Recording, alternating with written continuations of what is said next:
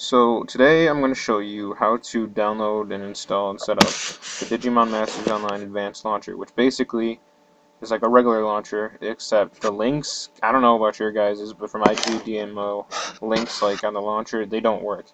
The links work, you can personalize your login screen easily, and it's got a whole bunch more features, you can go through your screenshots, all that shit. So, so you go to the website that I'm going to put a link in the description box. You click download. If it doesn't download in a second, you click direct link.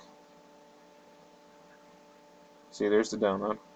Uh, you basically launch the download, run it, install it, whatever.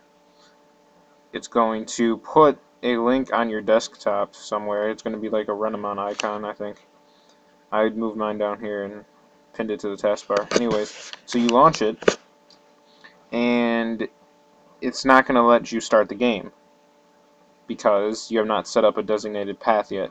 So what you do is over here, it won't, mine's logged in or whatever, but it'll, I don't know what it'll say, but you go over here, click the down arrow, go to settings, under path to game, you click browse. Usually your game is under your C drive.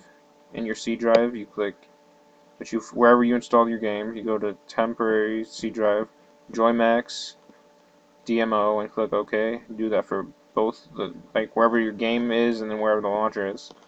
Do that. Uh, you just type in your user your game in-game name here, set as default profile, click apply. Then bam, it'll work when you click game start. Now, as far as personalizing your login screen and stuff, don't question that. you can change in your you can change your login backgrounds and you can actually change a whole bunch of stuff. I'm not sure how to get like other textures for these things though yet. Whoops. But yeah, you can replace your logos. So basically though, to do that, they need to be in a certain format. Normal pictures are in PNG format or JPEG format. Well, you need the picture to be in TGA format. So I'm going to give a link to where to download that. Basically, I'm going to give a link to this app here. You click this, you select, click this, select your picture that's in JPEG format, select where you want it to save to in your output, whatever output folder, click convert, it turns the JPEG into a .tga.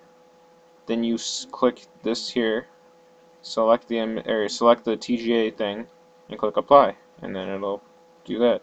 And here's an example of like my game using the advanced. Even if you launch it without the advanced launcher after you change the personalization stuff, that'll stay.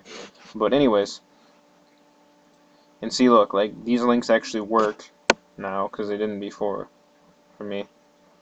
Anyways, so I'll show you like my customized stuff. Click game start. Give it a second. Any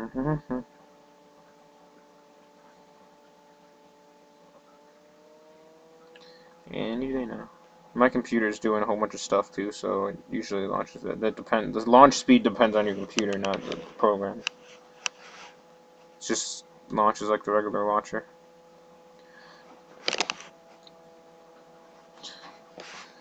But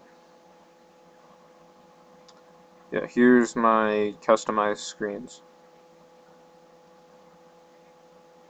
See, I replaced these. I replaced the uh, logo here with that, and that is don't question it. And then here's my login background. As soon as it loads. Oh.